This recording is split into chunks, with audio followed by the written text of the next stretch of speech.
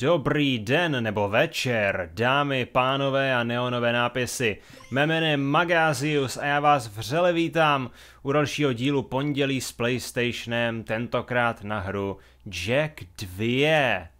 Nebo Jack and Dexter 2, nebo jak tomu chcete říkat, Jack 2 Renegade. Ano, další hra, kterou děláme z Jack and Dexter HD trilogie, remakeu původních Jack and Dexter her na PS2 které si stále ještě musím sehnat. Mám pocit, že je to jeden z takových těch kardinálních hříchů. Přitom, když už v podstatě tak trošku jsem začal i sbírat hry na PS2, tak samotný fakt, že nemám ještě na to právě ty známé hry je dost, no řekněme, nemilý. Ale ke hře.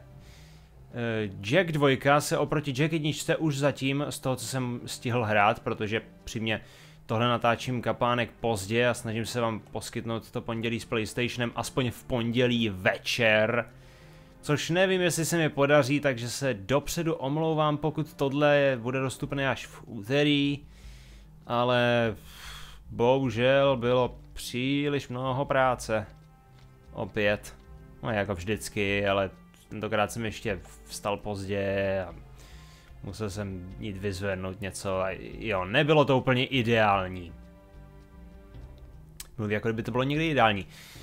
Ale jo, rozdíly mezi Jackem jedničkou a Jackem dvojkou zatím jsou následující. Jack mluví v tomhle díle a přičemž v původním díle Jack byl, to je ten blondětej nebo žluto-zelenovlasej, takovou prapodivnou barvu. Vypadá to jak, já nevím, blondiák, to si nechal na půl obarvit vlasy na zelenou a pak někdy uprostřed barvení zapomněl, uh, já nevím, že vypnul, že nevypnul doma, nevím, tu uh, pračku a tak rychle běžel zpátky a nechal to nedobarvený tak, jak to je. Já tady jen tak bloudím a nic nedělám. Mě by dělal něco konstruktivního. Takže jo, Jack mluví a má takový standardní hlas. Zní kapánek srandovně. a příběhově je to zdůvodněný, takže předtím byl němej a teď se naučil mluvit. Jo, takže jo. Možná jste si mohli všimnout, že na, na rozdíl od jedničky nejsme v žádném zelenavém prostředí, jsme v nějakém industriálním městě vedeném baronem Praxisem. Což je velký, velký tyran, který nějakým způsobem je nemilý ke svým k obyvatelům tohoto města, tak je, se ho určitá skupina snaží svrhnout. No a vzhledem k tomu, že Baron Praxis, my jsme se sem totiž dostali tak, že Jackův... Já nevím úplně, jestli je to jeho strýc, děda, ale každopádně nějaký člověk tam v Jackově vesnici zkoumal nějaký artefakt neznámého původu opět, jako mám pocit, že i vy si něco zkoumal. Tak zkoumali něco, no a nedopatřením se Jack i Dexter přesunuli do tady toho úžasného světa, kde se ukázala monstra a konkrétně v tomto městě terorizuje eh, obyvatelstvo toto města Baron Praxis, který nás původně uvěznil a věznil nás takové dobré dva roky, než nás Dexter našel a osvobodil. Eh, během těchto dvou roků do nás zároveň něco pumpoval, což vyústilo v to, že Jack je tak trošku vlkodlak. A tohle mi velice nemile připomíná jeden z levelů v původním Jackovi a... Co já tady mám? Já můžu vyskočit... Můžu vyskočit takhle. Ale to neudělám mnoho. A co abych jakoby vyskočil? Nemůžu vyskočit na tu trubku? Takže takový je příběh, jsme na neznámém futuristicky vypadajícím místě a, a momentální úkol je svrhnout barona Praxise. Teda to je takový jako celkový úkol. Momentální úkol je uh, prokázat právě odboji proti Praxisovskému, že, že jsme dostatečně schopní a ukrást Praxisovu vlajku. Jestli jsem pochopil ten úkol správně.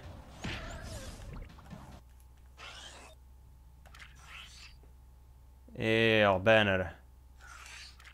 což je v podstatě vlajka praporec standardu. Ano, to je to slovo, které jsem hledal.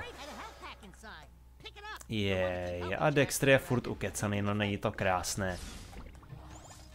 Hmm. Já jsem si nevšiml, že by se bylo spraveno jeden z problémů, který jsem měl. Jack and Dexter, ono to, to je trošičku zvláštní, já se, já se tady v podstatě stěžuju na to, že nějaká uh, hra na PlayStation 2 nebyla tak, tak uh, nadčasová, aby byla jak hra na PS3. Víte co, aby vlastně používala tu druhou osu na pravém analog sticku pro prohybování kamerou, abyste, když uděláte pravým analog stickem nahoru a dolů, nedělali jen tohle. Protože to je absolutně na nic. Pokud se já budu chtít blíž podívat na Jackovu zadnici a, a rozplývat se nad ní, tak, tak to udělám. Nepotřebuju k tomu nějaký zvláštní tlačítko, budu se akorát na ně dívat, pokud z nějakého uchylného důvodu mám, mám tento fetiš. Hm. Takže ano, zatím tam není příliš mnoho, co by mě překvapilo, ale tihle bastardi mě kapánek štvou. Samozřejmě stále platí pravidlo, že v Jack and Dexter jsem absolutní lama, failure, noob, chcete-li. A ne, ten noob z Mortal Kombat, ten totiž paradoxně není vůbec žádný noob. Je totální bastard a rozseká vás a všechny vaše příbuzné v horizontu sekund. Takže ano. Stále se zachovává takový ten klasický uh, dráč Spyro the Dragon nebo Jack and Dexter styl gameplaye, kdy v podstatě sbíráme tunu kravin, které jsou ve výsledku jenom skóre. Při nejlepším nám dávají nějaký bonus. Ale to až když pospíráme úplně všechny. A o můj bože! O můj bože, já už zase umřu. To je neuvěřitelné. Dobře, uděláme takovou úžasnou věc, ano. Uděláme to samé, co jsem já dělal i, i v, i v původním Jack and Dexter videu. Že v podstatě, jakmile to budu příliš šlamit a bude to trvat příliš dlouho, přičemž tady to video už teďka má, ještě máme docela čas, ale přesto. Jakmile to budu lamit příliš dlouho a bude to bylo by to příliš nesnesitelné pro vás se na to dívat, tak to samozřejmě ustřihnu, takže, že jo. To začíná tímto momentem, takže, jo. Pokud potom to je střih, tak víte, co se dělo.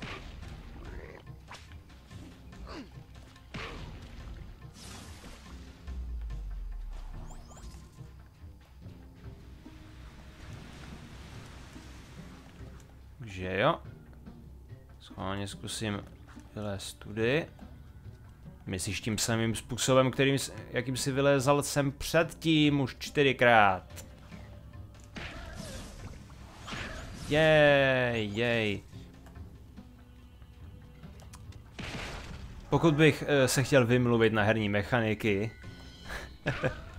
a nepřiznat při tom, že jsem upřímně noob v, tady, v těchto typech her, tak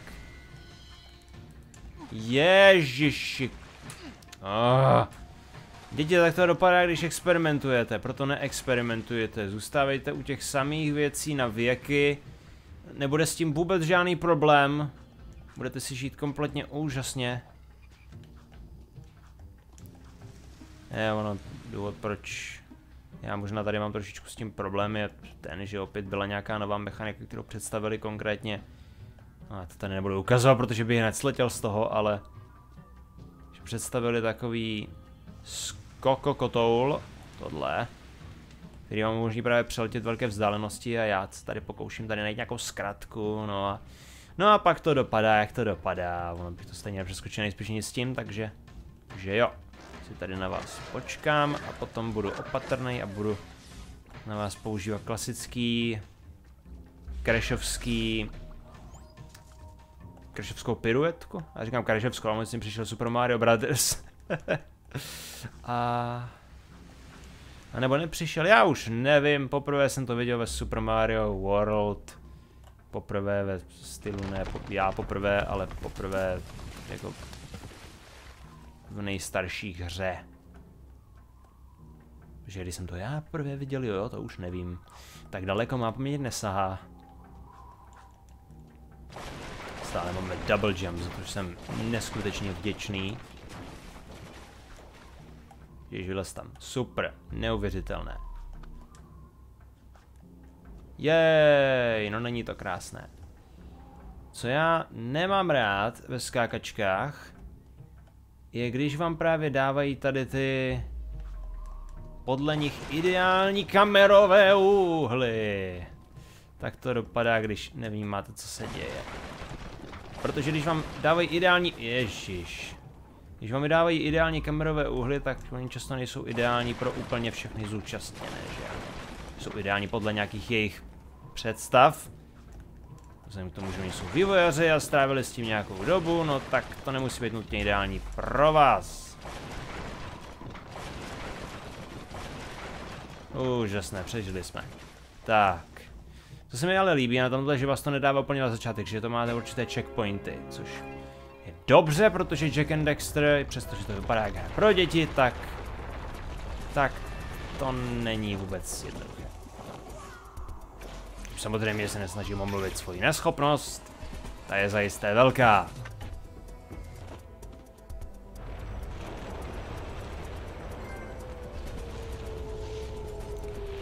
A achievementy, nikdo se o vás nežádal a stejně tam jste.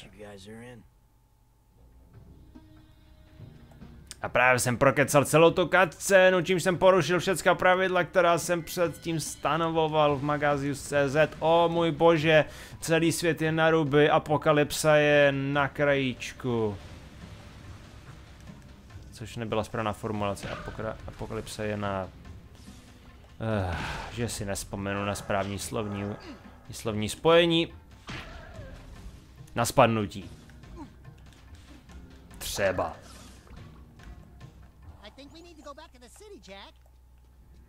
Já vím, ale já rád. Je, jde to. Já si ještě na renku pár tady těch kouliček. Protože mít kouličky znamená mít Adidas a mít Adidas je základní pro mladého dospívajícího chlapce. A nebo je to vláknina, jo, já už nevím. Proč, proč, proč tam to nefunguje ten můj... Jak se tomu říká? Um, rubber banding.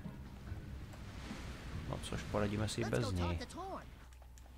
Jasně, Dexter, mluvíš mi z duše. Zároveň, co se mi líbí, a nevím, jestli to už Jack and Dexter měl upřímně, protože moje paměť, jak jsem říkal, je absolutně bezchybná. Tak už nevím, jestli Jack and Dexter měl někde mapu. Ale pokud měl, tak jsem ji buď nepoužíval, což je celkem možné, já jsem na tohle idiot. Klidně možné, že budu mít nějakou herní mechaniku, ona tam přede mnou bude celou dobu a já ji budu okázale ignorovat. Protože prostě tak funguje. Ale pokud je to tak, jak si myslím a nebyla tam, tak eh, tady normálně je mapa. V městě. Ne tady. Protože tady by to bylo moc užitečné, že ano. A hlavně, no užitečné, bylo by to tak trochu zbytečné, protože stejně budete potřebovat po různých úrovních a skákat všude možně, jak kamzík. Ale jo. Jo, já se nemůžu, já nemůžu uvěřit, že jsem se o tom ještě nezmínil. Vy můžete řídit v tomhle. Předtím jste měli nějaké minihry a tak, ale tady můžete normálně řídit a já řídím jak v GTAčku, už bych se to měl odnaučit. Tak, jemně s tím, jemně. Ano, jemně, jedeš špatně mimochodem. Takže udělej, jo, a otoč to, tak. Krása. Jo, a jsou to tady takový červený strážný, který víceméně fungují stejně jako policie v GTAčku, což znamená, jakmile do nich, což znamená, můžete dělat bordel kolem nich, jaký chcete, ale jakmile do nich narazíte, tak, ale jakmile do nich narazíte, tak se budou dít zlé věci a nakopou vám zadek a poběž. Budou vás honit jako honou zvěř. Já už zase zajel do slepý, no není to krásné. Takže jo, protože předtím jste měli víceméně nějakou vesnici a tak, ale tam ani náhodou nemohli dělat tohle. Oh yes.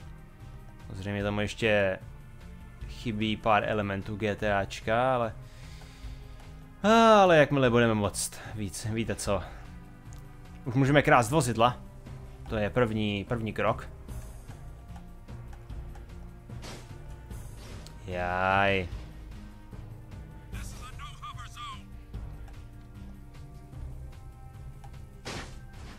Jo, prej, že tady nemůžu před tím, tím se vznášet, tady tím použiju, nemůžu používat vznášedla. Má tohle vůbec brzdy? Já doufám, že má. má to brzdy? Jo, má. Akorát jsem idiot a nepoužívám, protože kdo potřebuje brzdy? Kdo potřebuje brzdy, když máte... Plyn? A tady je patrně pěší zón, nebo co? Můžeme se mít i když máme alarm? Můžem. Cool, neuvěřitelné. Krása. Being a big hero sure makes you thirsty.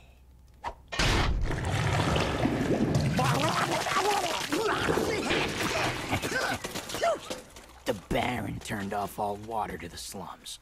He's willing to sacrifice innocent lives just to destroy the underground. I shouldn't be surprised. I've seen his evil before, while serving in the Crimson Guard. That's why I quit. You were a Crimson Guard? oh, that explains your charming sense of humor. My friend in the Guard tells me the valve to turn the water back on is located outside the city, at the pumping station. Outside the city? What about the security walls? What about the metalheads? There ain't a petting zoo out there. Peeps be getting deep sixed. Find the large drain pipe in the north wall. It'll take you outside the city to the pumping station. Get to the main valve and open it. If you survive, the slums will be indebted to you. If not, maybe we'll have a touching moment of silence in your honor. I'd like to give him a touching moment. Dobře, no tak já jsem přemýšlel, že bych ještě zkusil vám ukázat to, ale obávám se... Obávám se, že už bychom to nestihli, nebo vlastně stihli, jo, ale to video bylo trvalo hrozně dlouho. A, ah, to je furt to samé video? Nemůžu s ním mluvit o něčem jiném? OK, nemůžu. No nic. Dámy a pánové, já doufám, že se vám toto video líbilo, alespoň trochu, a pokud ano, tak zaručeně nezapomeňte se podívat na další pondělí s PlayStationem.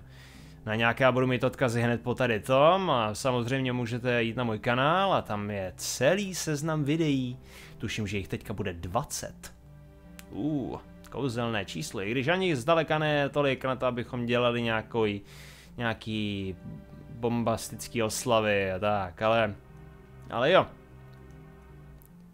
Takže loučím se s vámi a uvidíme se další pondělí. Pokud tomu budou teda hvězdy nakloněny.